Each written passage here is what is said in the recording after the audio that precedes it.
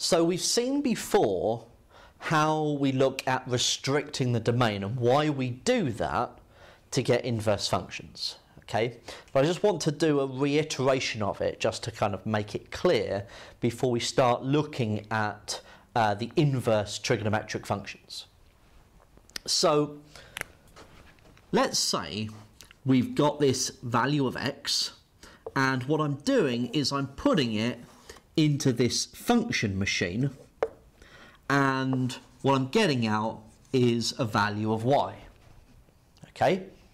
And the fact that if I put in 1, so I put in a value and I get out one value, this is what constitutes a function. I don't put in 1x and get out two or more values of y.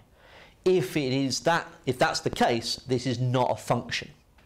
Okay, so one input creates one output.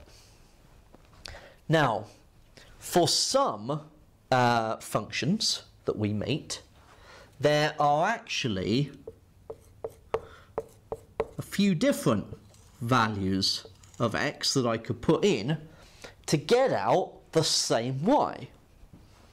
So sine, cos and tan are examples of this because they're periodic.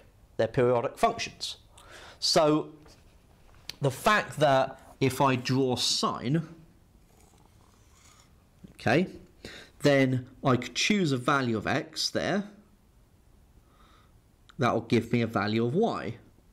However, there are other values of x that will give me the same value of y. Okay, now that's perfectly fine. Okay, as a function.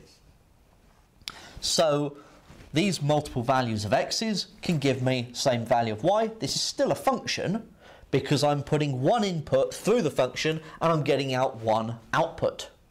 Okay? Although there are multiple inputs I could use to get the same output, I'm only putting one of these through, okay, to getting the output. Now the problem is when you reverse the direction, if you think about, right, well, if I'm putting in my value of y, int back through the function, reverse engineering it, I'm then getting multiple values of x, okay? Which means that the inverse function going back through that process would no longer be a function. It's fine going one way, but going the other way, it doesn't work.